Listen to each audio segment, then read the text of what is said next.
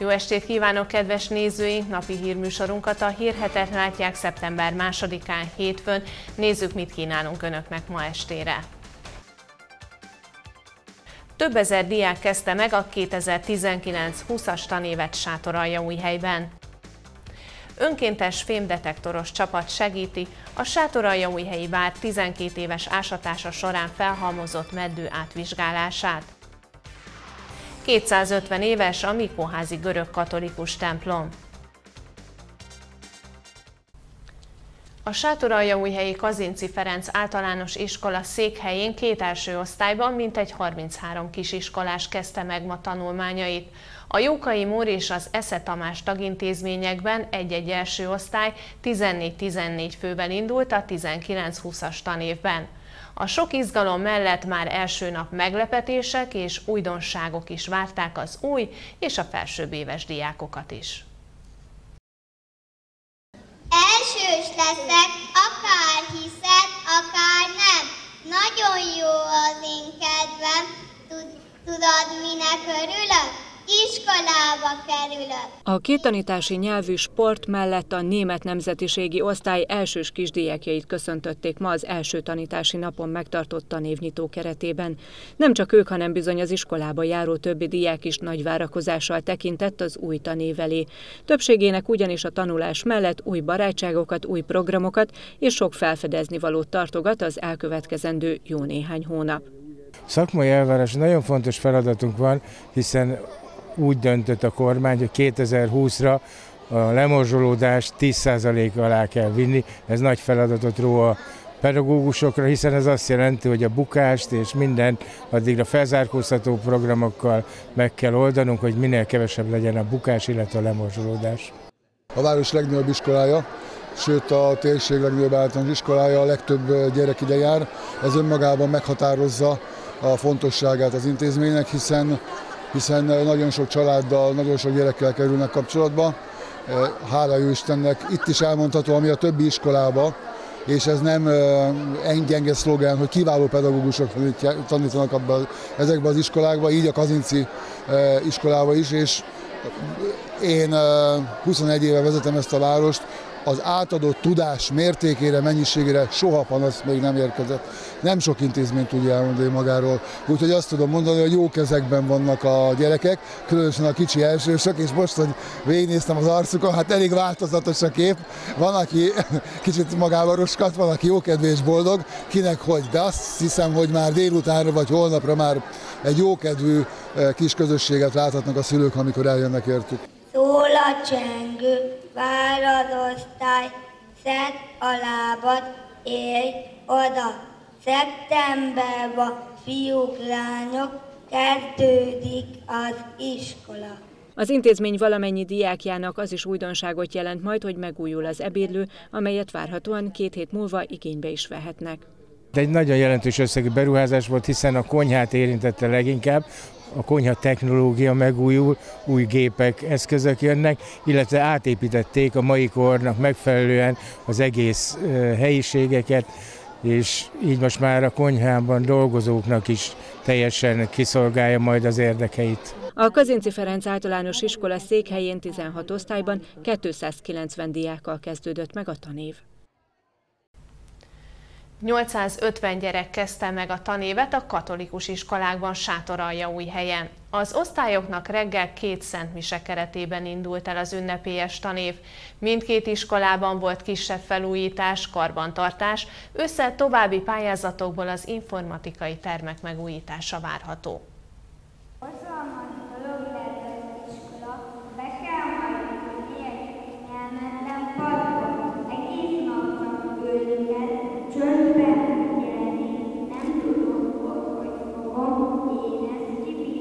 Reméljük a versben mondottakkal ellentétben jól érezték magukat a katolikus iskola elsősei a mai nap folyamán, ami egy hosszú út kezdete számukra, hiszen akik idén 2019-20-as tanévben beléptek az iskola kapuján, jobb esetben több mint egy évtizedig az oktatási rendszerben maradnak. Ezért természetesen a szülőkben is nagy volt az izgalom. Így már, hogy előtte volt egy példa, egy kicsit könnyebb volt, úgy gondolom. A két iskolában összesen 850 tanuló kezdte meg a tanévet a Sátoraljaújhelyi katolikus intézményekben, így mindkét iskolában és az óvodákban is voltak karbantartó felújítási munkálatok a nyáron. Próbáljuk a legoptimálisabban a nyarat kihasználni erre. Még vannak bent pályázataink, még van bent igényünk a fenntartónál, amelyet bízunk benne, hogy teljesít. Ez szoftverfrissítések, szoftverfejlesztések, új gépek beszerzése, tehát még mindig folyamatban vannak ezek az újítások.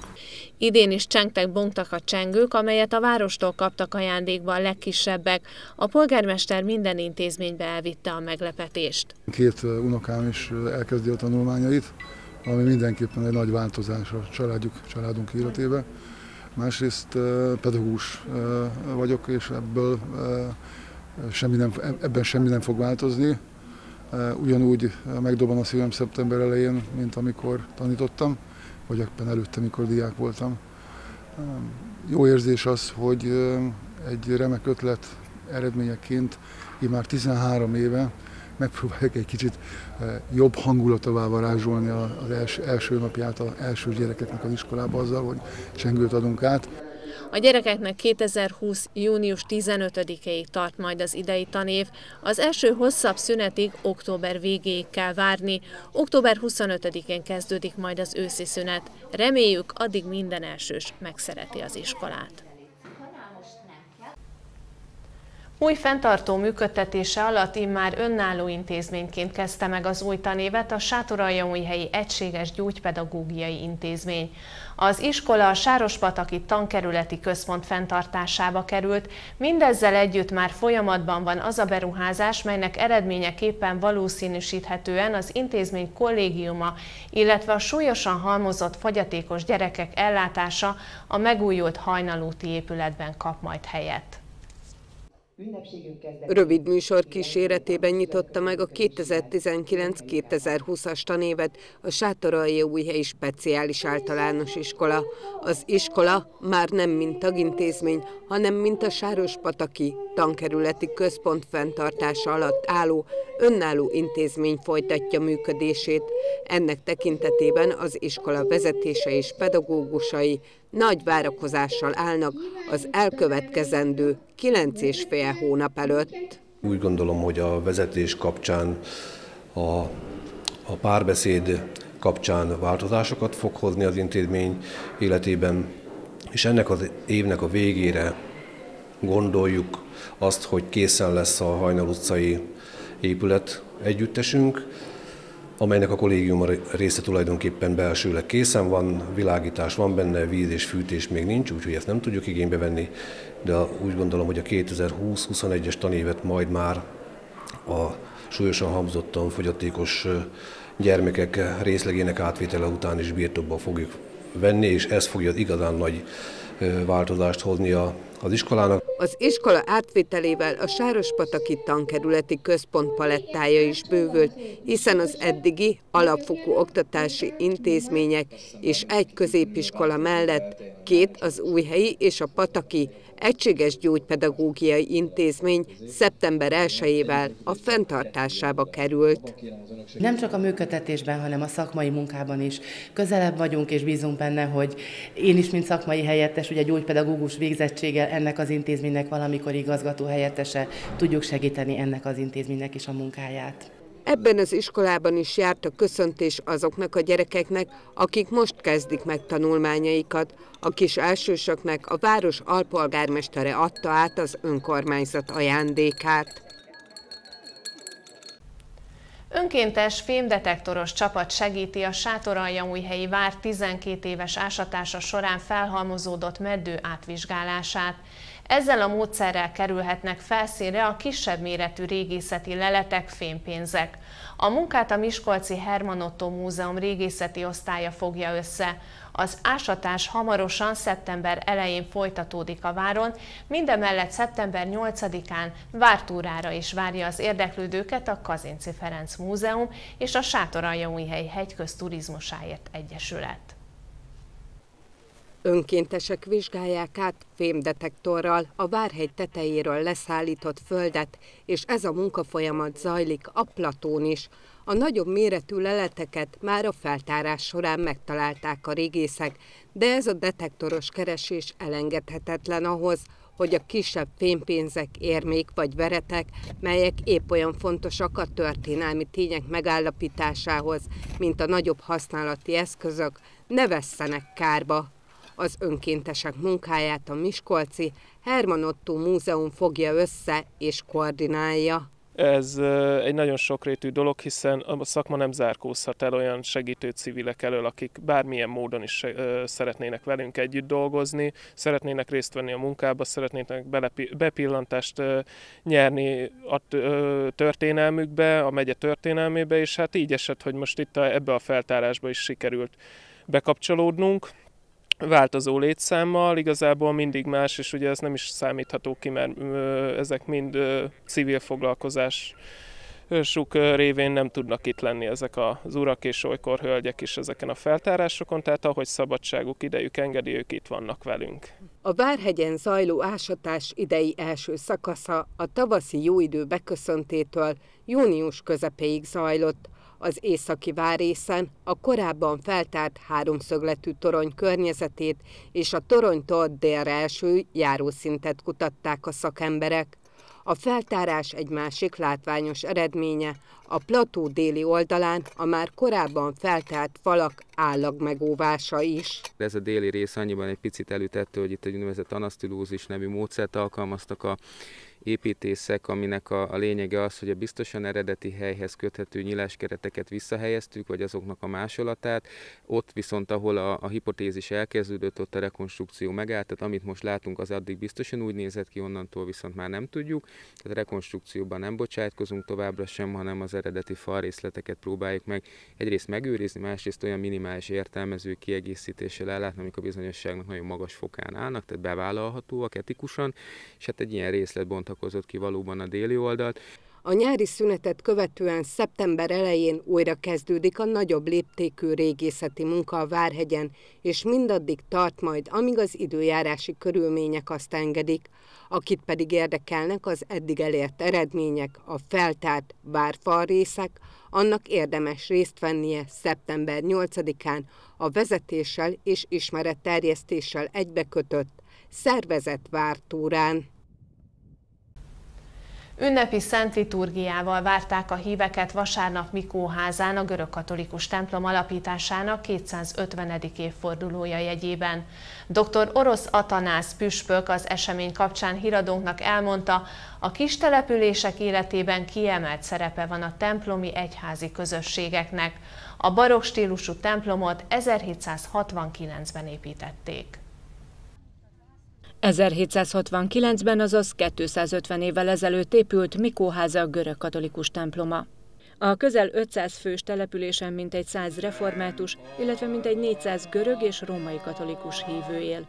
Ez utóbbi vallási közösséghez tartozók felváltva tartanak szentmiséket és szentliturgiákat ebben a templomban, így itt még fontosabb szerepet tölt be. Az épület több alkalommal is leégett, de minden esetben újjáépítették. A legjelentősebb karbantartási munkák 1902-ben, 1967-ben, majd 2000 és 2001 között voltak. Az ünnepi szent liturgiát követően dr. Orosz Atanáz megyés püspök híradónknak elmondta, a kis települések életében jelentős szerepet töltenek be a vallási közösségek. Biztos, hogy a gondviselés különleges csodája ez, hogy évszázadokon át sikerült mindenféle viszontagságon át túlélni a nehézségeket, és Isten kegyelméből közösségnek megmaradni. Nem tapsoltam olyan nagyokat, hiszen e, ma törékeny ez a kis közösségünk, és mégis biztos vagyok benne, hogy a gondviselés segítségével ezeket a jelenlegi nehézségeit is túlélheti, és szépen megerősödhet a fogyatkozó létszám az a, az a gondot okozó nehézség, amelyel szemben valóban a kitartásra biztattam a híveket és a megmaradásra a közösséget. Akik itt helyben templomba járnak, azok számunkra a jövő reménységei és erősítik, erősítik a közösséget, én is bennük bizakodom, és a itt templomban való megmaradásukban. Bodolócki Emé János parókus hozzátette, szimbolikusan és szűkebben vett értelemben is központi szerepet tölt be a régióban a Mikóházi templom. Kerestem mindig az okát, és átmentem Szlovákiába a határon túra is, és mindenhonnan én a, a környező községből, Füzéradványtól kezdve Csörgőn keresztül odátról, mindenhonnan látszik a mi templomunk. Amikor 2000-ben a torony része lett befedve, akkor ott szóltak nekem, hogy mi van Mikó házán, talán aranyat raktunk a templomra. Hát nem a rész, amikor egy pár évig fény lett, aztán bematult. A templomi búcsút követően közös beszélgetésre is várták a meghívott vendégeket és a híveket. Életének 65. évében elhunyt Sátoraljaújhely nyugállományba vonult címzetes főjegyzője, Fedorné dr. Fráter Zsófia. A polgármesteri hivatal volt vezetője, 35 évig dolgozott a közigazgatásban, ebből 27 évet, mint Sátoraljaújhelyi jegyző. 1990-től kezdte meg a hivatali munkáját a városban, kezdetben, mint jogász, a hatósági osztály vezetőjeként. A rendszerváltozás első éveitől a város jegyzőjeként vezette a polgármesteri hivatalt. Hivatása első éveitől fontos volt számára a közigazgatási feladatok minél alaposabb ismerete, ezért elvégezte a pénzügyi és számviteli főiskolát, így az önkormányzati szektor gazdálkodási és jogi feladataiban egyaránt nagy tudásra tett szert. Az eltelt 27 évben három polgármesterrel dolgozott együtt, ebből 21 évet a város jelenlegi vezetőjével, Szamosvölgyi Péterrel. Munkatársai nem csak a városban, de megyeszerte elismerték szaktudását és munkabírását. Hivatali munkáját 2018. januárjában fejezte be, azóta férjével, lánygyermekeivel és unokáival töltötte a legtöbb időt. Családja mellett gyászolják egykori munkatársai, barátai és a Sátoraljaújhelyi polgármesteri hivatal dolgozói. Nyugodjon békében! És végül főbb híreink még egyszer egy-egy mondatban. Több ezer diák kezdte meg a 2019-20-as tanévet helyben. Önkéntes fémdetektoros csapat segíti a Sátoraljaújhelyi vár 12 éves ásatása során felhalmozott meddő átvizsgálását. 250 éves a Mikóházi görög katolikus templom. Önök az Emplén Televízió híradóját látták, köszönjük ma esti megtisztelő figyelmüket, tartsanak velünk a hét többi napján is, héten történt című hírösszefoglalóinkat pedig vasárnap este láthatják, viszontlátásra!